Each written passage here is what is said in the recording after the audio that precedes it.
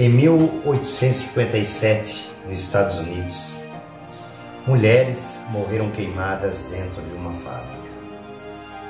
A partir disso, gente, anos depois, veio o Dia Mundial das Mulheres. Todos os dias são o Dia das Mulheres.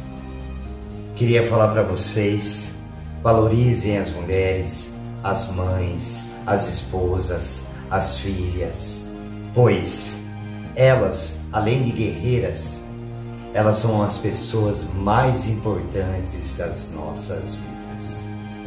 Obrigado a todas as mulheres do planeta. Obrigado a toda mulher que acredita que pode mudar o mundo. Obrigado a vocês. O Dia Internacional das Mulheres é celebrado anualmente no dia 8 de março. A ideia de uma comemoração anual surgiu depois que o Partido Socialista da América organizou o Dia das Mulheres, em 20 de fevereiro de 1909, em Nova York. Bom pessoal, tudo bem? Aqui quem tá falando é o Lucas, veterinário aqui de Biúna. Gostaria no nome da minha mãe, da minha namorada e da minha sogra mandar um feliz Dia das Mulheres a todas as mulheres daqui de Biúna, daqui do estado de São Paulo, do Brasil, do mundo inteiro. Muito obrigado.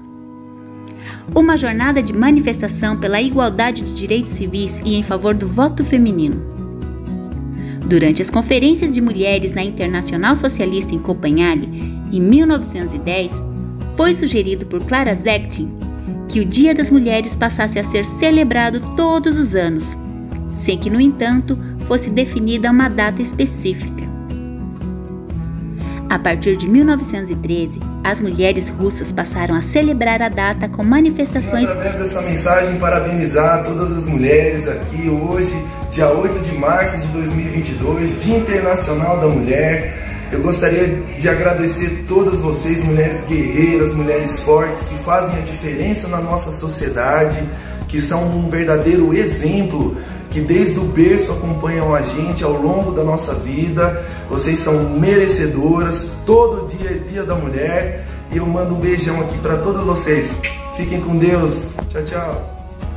Realizadas no último domingo de fevereiro.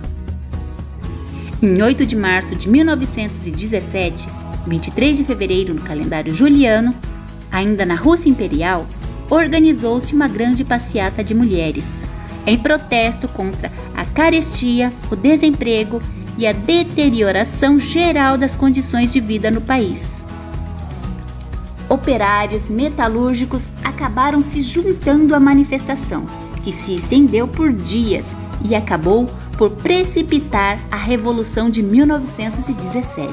Nos anos seguintes, o Dia das Mulheres passou a ser comemorado naquela mesma data pelo movimento socialista na Rússia e em países do bloco soviético. Bem com vocês? Hoje é o Dia Internacional das Mulheres.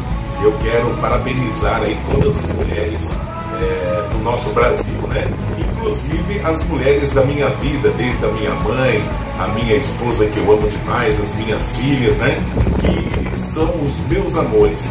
Eu dedico a vocês é, essa homenagem para todas vocês. Vocês são guerreiras, vocês merecem vencer cada vez mais na vida, tá bom? Um forte abraço, Deus abençoe a cada um de vocês, mulheres.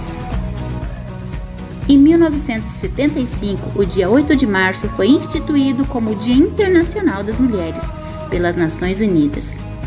Atualmente, a data é comemorada em mais de 100 países como um dia de protesto por direitos, edulcorada celebração do feminino, comparável ao Dia das Mães.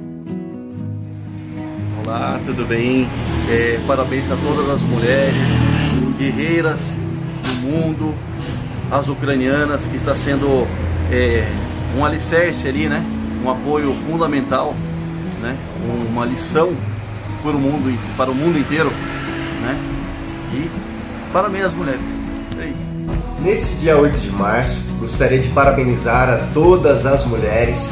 São verdadeiras guerreiras que lutam diariamente, enfrentando todos os obstáculos, todas as adversidades, todas as violações e tenham a certeza que vocês têm ocupado cada dia mais espaço espaços importantes na nossa sociedade. Tenho a certeza que eu, Renan Godinho, desejo a vocês todo sucesso, prosperidade e deixo desde já o meu apoio a todas as suas lutas. Que vocês vençam a cada dia e com certeza juntos nós vamos alcançar igualdade, igualdade de direitos, igualdade de justiça, muito respeito e com certeza harmonia na nossa convivência. Um grande abraço a todos vocês, parabéns nesse dia especial.